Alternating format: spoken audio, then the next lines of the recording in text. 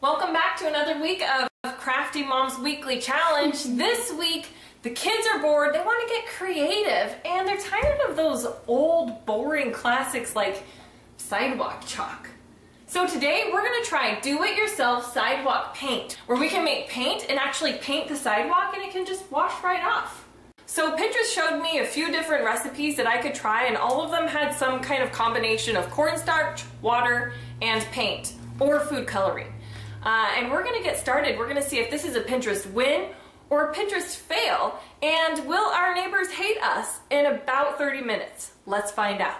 All you're gonna do is take equal parts of cornstarch and water, mix in a little bit of food coloring or washable paint, and serve it to your children. Let them do the rest.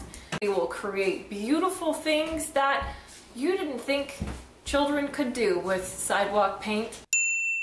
So the do-it-yourself sidewalk paint was definitely a Pinterest win. The kids loved it. It was a new idea that they had never tried before and their imaginations just like they created some really cool stuff. And I'm curious to see if store-bought sidewalk paint would work better.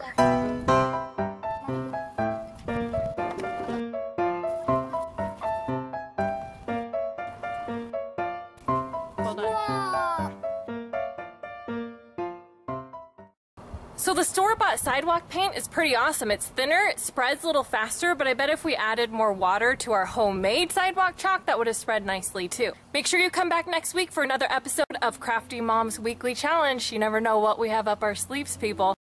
Happy summer. Pinterest win.